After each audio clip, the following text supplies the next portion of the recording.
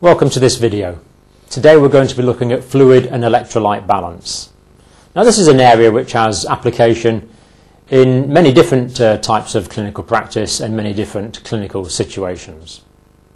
So what we're going to do is start off by looking at fluids and fluid balance and then go on and look at electrolytes and electrolyte balance and, and why this is important. So let's start off by looking at uh, fluids, body fluids.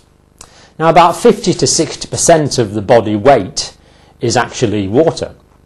And uh, in an average man, say a 70 kilogram man, this would equal about 42 litres of water in the adult body, about 42 litres.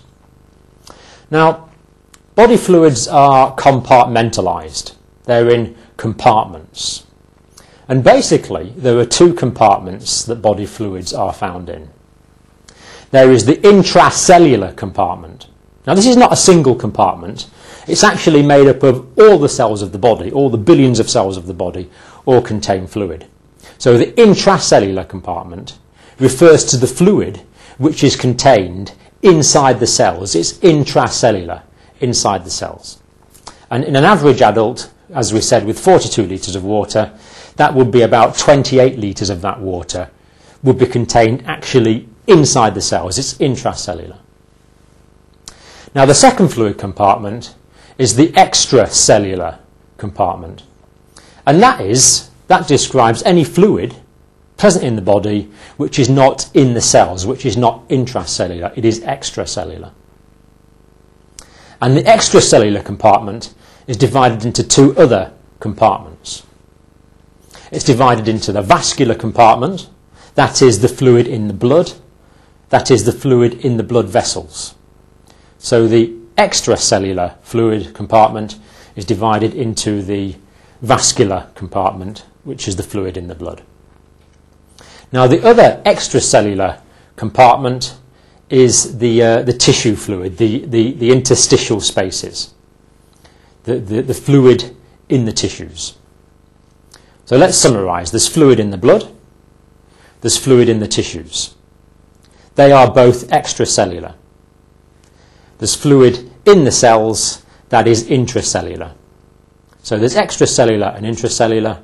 But really, the way I tend to look at this is that there's actually three fluid compartments the vascular compartment, the tissue compartment, and the cellular compartment.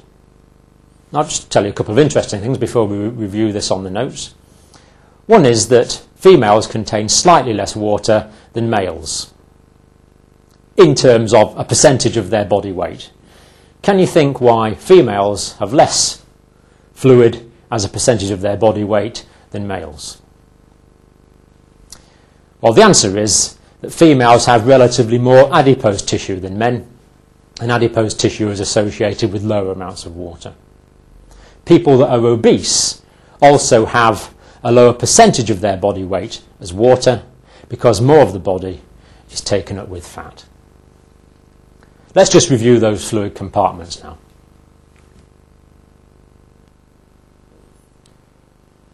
These figures are assuming we're talking about an adult. Of course, small people and children will have significantly less, children way, way less fluid than this.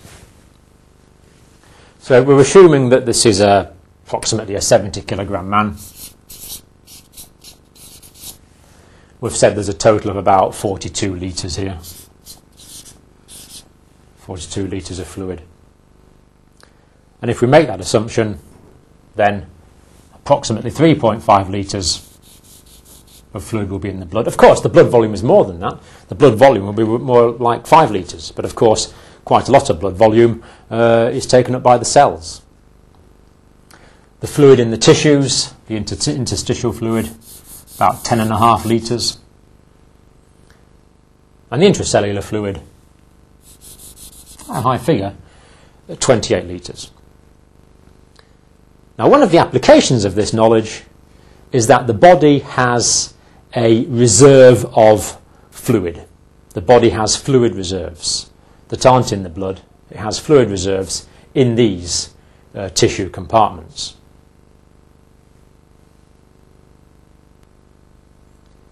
Now, the body needs reserves of fluid because if you think about the blood volume, it's actually reasonably small.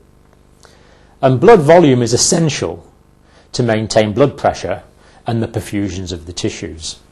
You might remember from other videos that blood pressure equals cardiac output times peripheral resistance. But only if there is adequate venous return. So there must be enough fluid in the circulatory system to maintain blood volume, therefore to maintain blood pressure.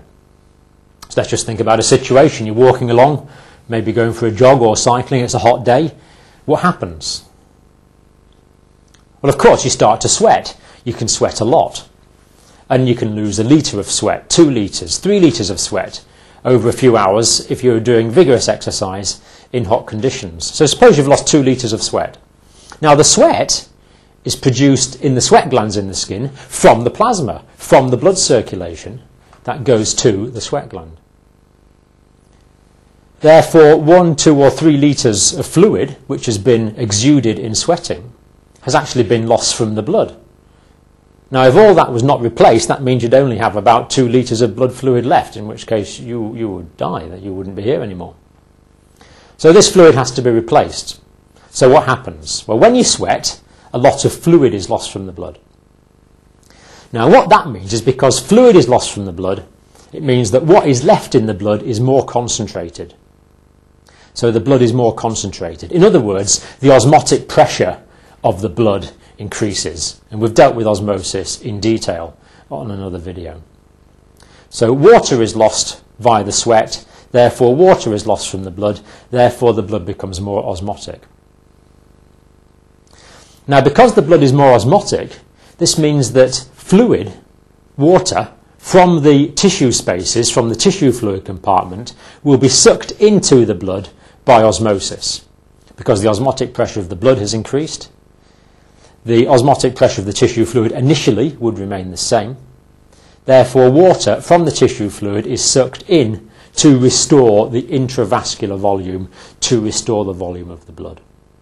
So even though in the short term several litres of fluid might be lost, the actual volume of the blood will remain the same. Now think about the situation with the tissue fluid.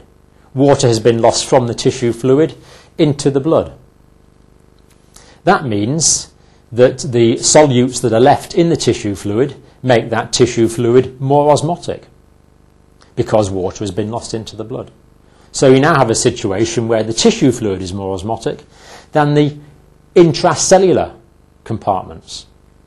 Therefore, fluid is sucked from the cells to start to restore the volume of the tissue fluid. So what this means is that when we don't drink for a while or we lose a lot of water, that blood pressure and blood volume can be maintained because we have this reserve of fluid that can replenish intravascular volume can replenish intravascular volume after fluid has been lost, replenishing the fluid in the blood from the tissue and from the um, intracellular spaces.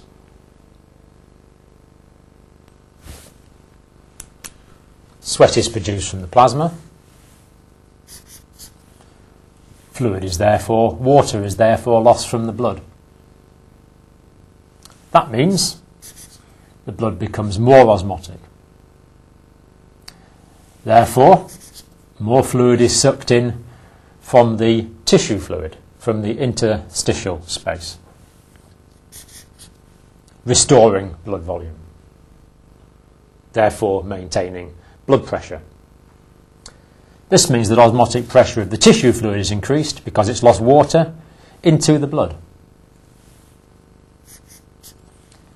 Therefore, fluid is osmotically sucked out of the cells to replenish the volume of the tissue fluid. So we can survive for some period of time losing water without a loss of our ability to function because blood volume is maintained. Let's look at a further application of this uh, knowledge of compartmentalization of the body fluids, and that is hemorrhage. Now, when blood is lost, the blood pressure drops. And that means that the pressure of the blood in the capillaries will also drop. Now, recall that in the normal situation,